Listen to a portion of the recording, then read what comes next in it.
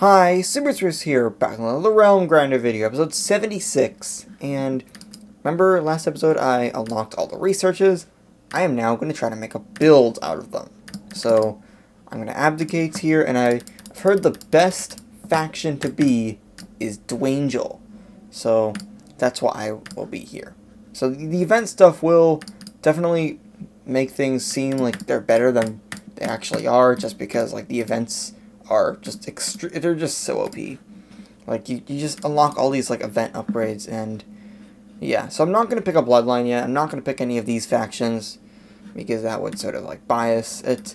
So this this is gonna be extremely complicated, and I'm again I'm gonna do it branch by branch. And maybe I should start with like the branch with the least amount of upgrades I can pick from, which is warfare.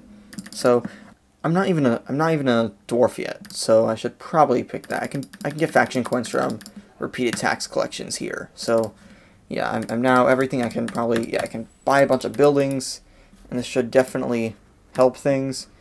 So now that I'm dwarf, I'm not exactly sure what I should go for. Should I do Heaven's Domains or Dwarven Forges?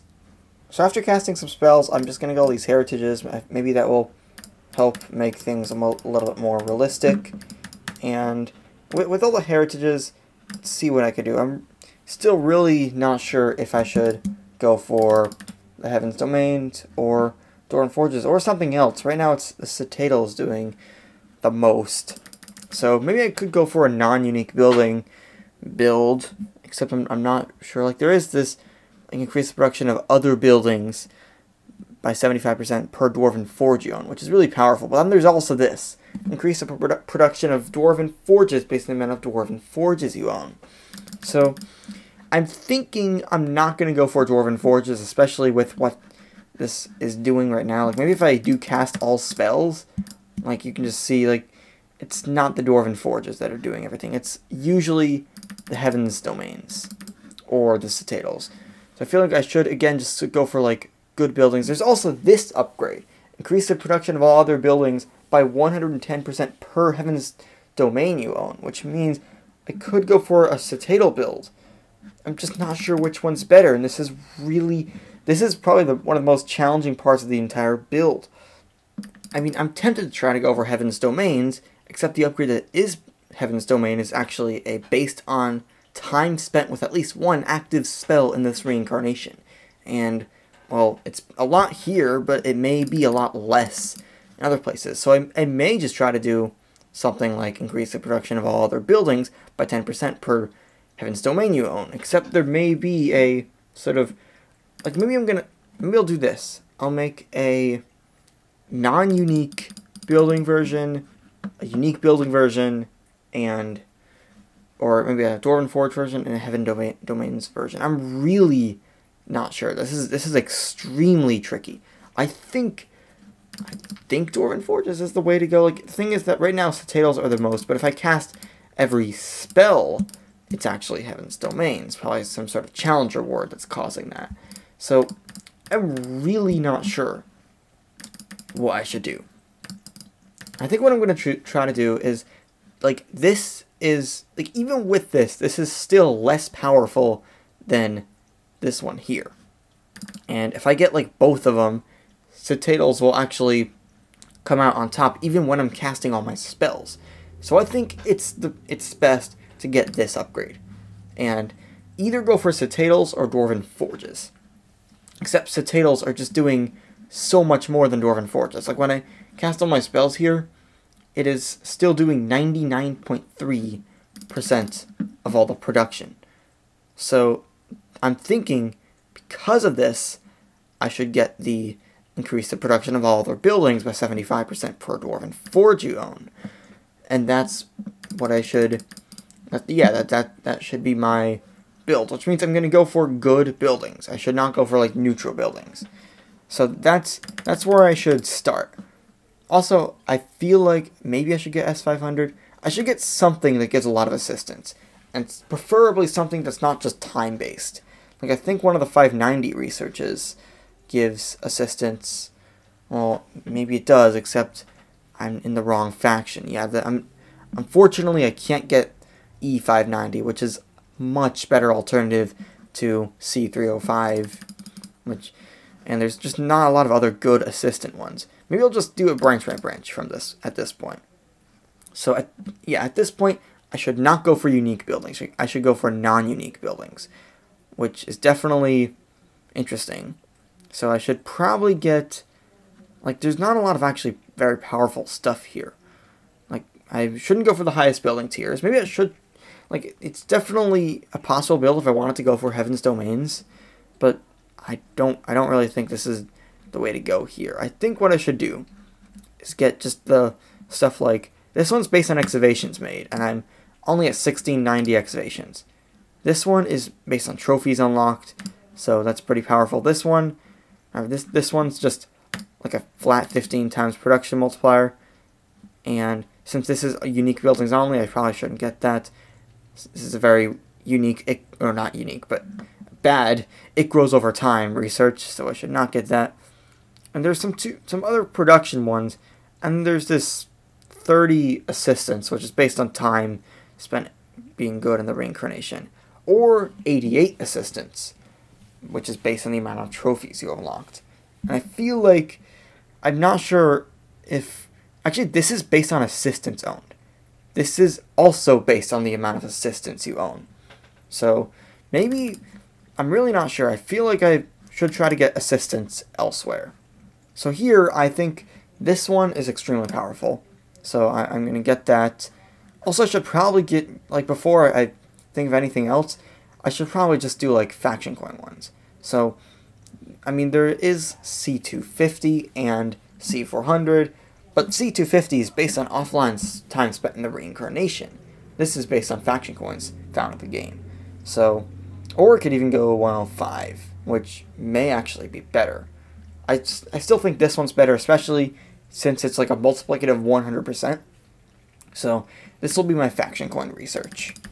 So here I'm going to look at all these. This one is a relatively weak mana regen boost. Like I already have 232, which is definitely enough, and 340, 348 when I'm casting. Like the only really good mana regen one is this one. Actually, there, may be others. This one's offline production only, so it's bad.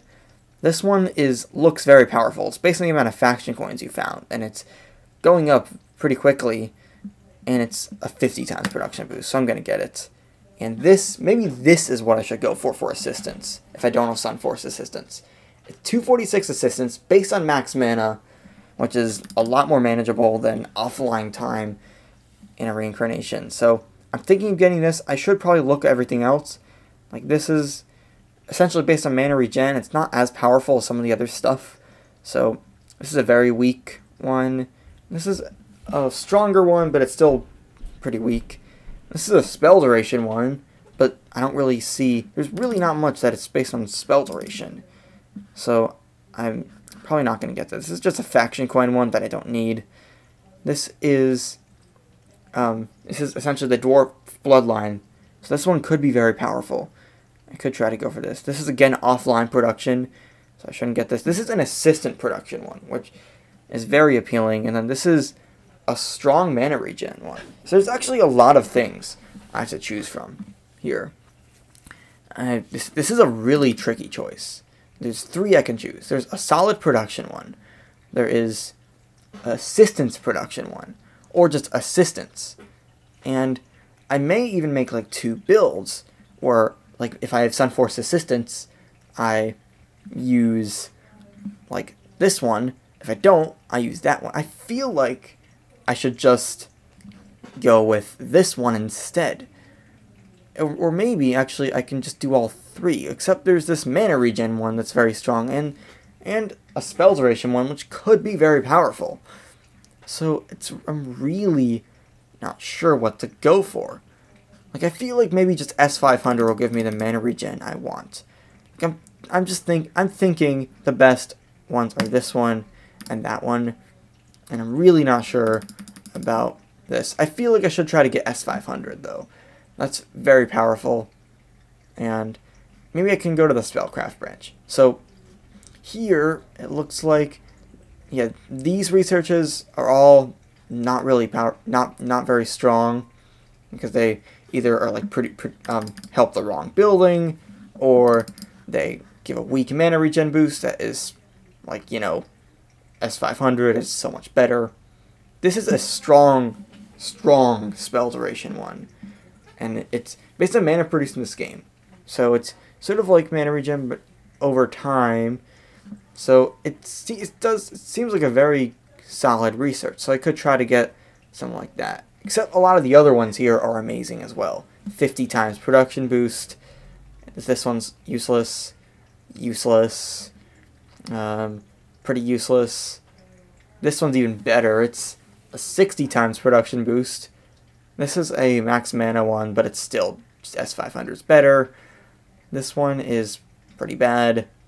And this one is doesn't even have a formula. I should probably just look up this formula.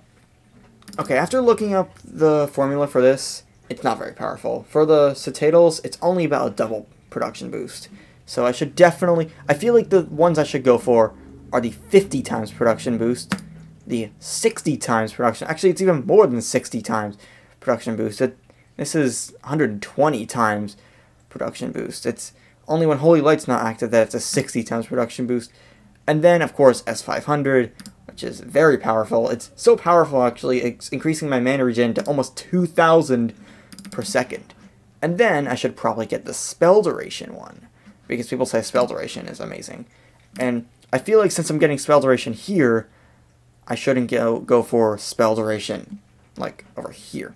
So maybe I should just do another mana regen boost, or actually, maybe not mana regen, I could just go for assistance. It's based on max mana.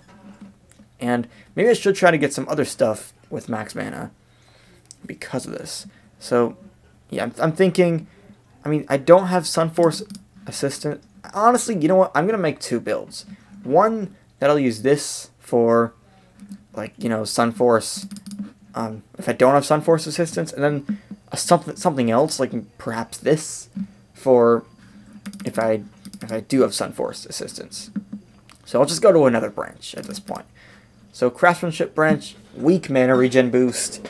Honestly, any additive mana regen boost is just is just so bad compared to S500.